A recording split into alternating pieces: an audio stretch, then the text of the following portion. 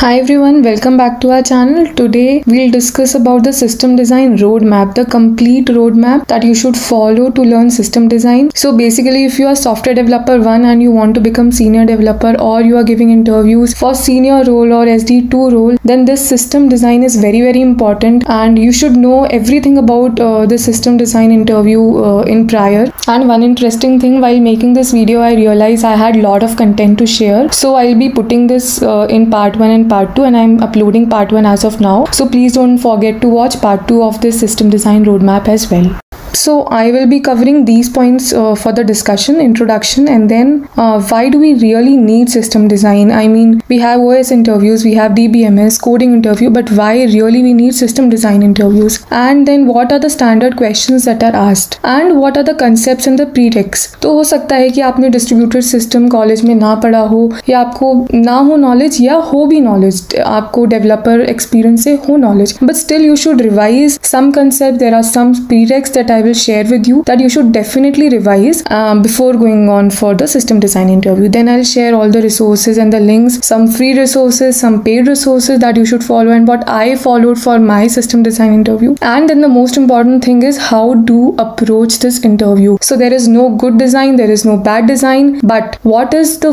procedure, what is the steps that you should follow to target and approach this interview? So I will share a brief about it. So if you have not subscribed this channel, please subscribe this channel for more interesting videos and uh, all the topics that I'm gonna share in future. So don't miss out on them. So let's proceed further.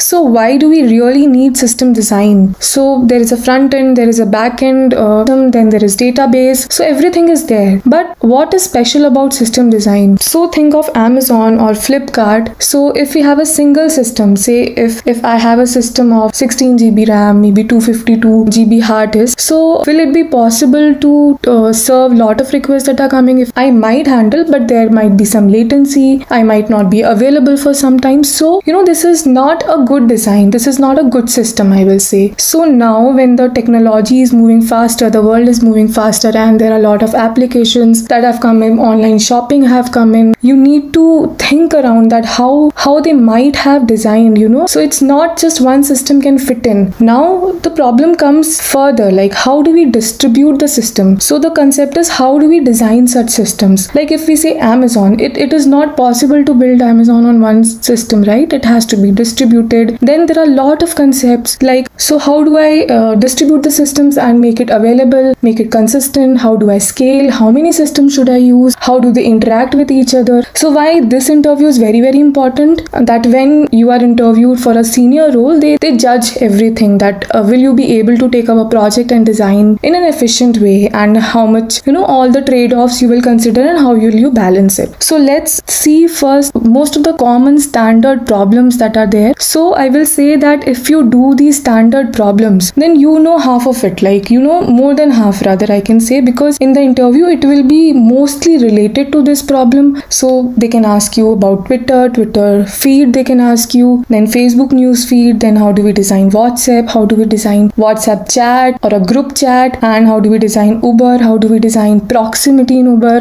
Like let's see more problems in Book My Show, Facebook Messenger, Twitter feed, search in the Instagram. You should understand understand the concepts first that I'll be discussing now. So you should at least do one problem in one category. So that should be enough. Like if you do Facebook chat, WhatsApp chat, Instagram chat, all these will be same anyhow. So if you do some streaming problem like Netflix, Amazon Prime, all these will be in the same category and they'll be designed mostly similar. So now let's talk about the concepts that are prereqs that I was talking about. You know, you have to target these uh, problems and you should understand the basic concepts. And if you understand the basic concepts, it will be very easy for you to apply it to a system design. And if there are a lot of cross questions also, you'll be able to come up with something new. So even if you know this concept, I'll suggest you that you should go and read these concepts. You should go and understand these concepts much better in a much better way. And I'll provide you all the links.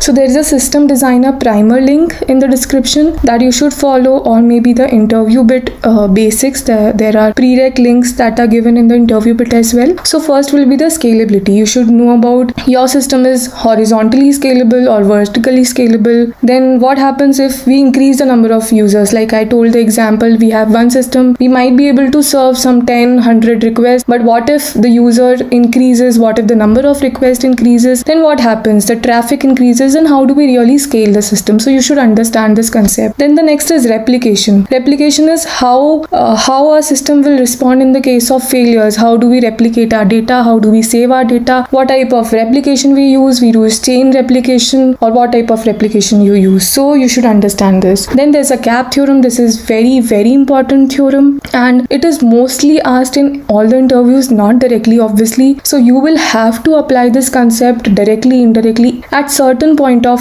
time uh, at least so CAP theorem is uh, consistency availability and partition tolerance. So CAP theorem says that only two of these will hold true. So we need to understand that we are making a highly available system or partition tolerant system. Together it can be less consistent or you should understand how this CAP theorem will apply on the design. So are we making a highly consistent system or highly available system? So you should uh, uh, understand this and how we make trade-off while designing the system now let's talk about consistency. So we need to understand that our system is weak consistent or strongly consistent or there is eventual consistency. That is the base property of the distributed system. You should learn that. And then what type of system a highly consistent system? Like I can give you an example banking system. So or reservation system, airline reservation, anything. So they should be highly consistent. There is no no scope of them not being consistent. Otherwise there'll be a lot of discrepancy. So we can compromise with the availability but here we cannot compromise with the consistency. So what type of system should be highly consistent system? Similarly, you should understand that what type of system should be highly available system like Facebook maybe or video streamings.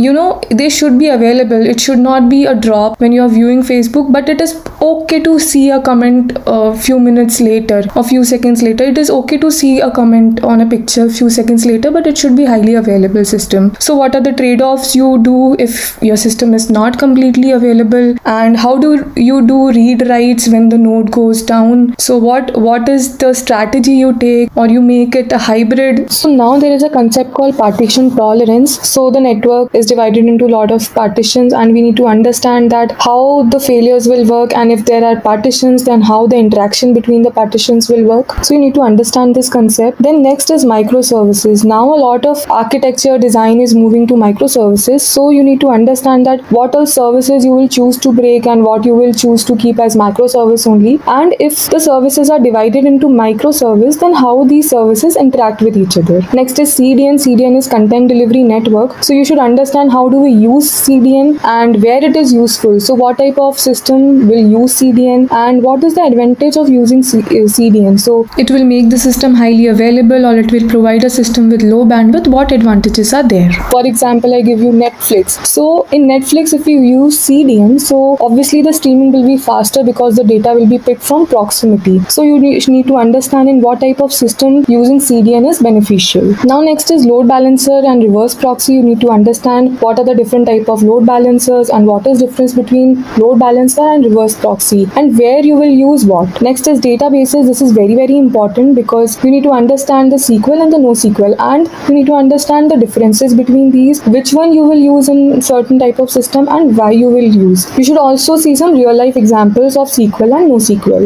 And then there is caching. Caching is like very very important. Uh, how you will you implement caching and what is the eviction strategy you will use. You will use LRU or LFU or FIFO or what type of uh, eviction strategy you will use for caching and what is the trade-off that how much how big cache you can keep or how smaller the cache you can keep or how much data you should keep in the cache. All these factors are very very important. And if you have some real life knowledge of real life caches like Redis and Memcache it's an aid. So you should understand the basics of these redis and memcache that how they're keeping um, they're, they're keeping the data so that should be enough. Then the message queue. So where you use message queue and similarly real life example of message queue also RabbitMQ kafka will be helpful. So in the part 2 of this video don't forget to watch it. I will discuss in brief about all the links and resources that you will have to use for the system design. I just discuss about the concept you should know. And now in the next video part 2 that i'll be uploading soon we'll discuss about the links and the resources you should use so don't forget to watch that video too. I'll also discuss about how to approach a system design interview. So thank you for now and if you have any questions please post so that i can add it to my next video. And please stay connected. Don't forget to subscribe the channel so that whenever i upload next video you get notification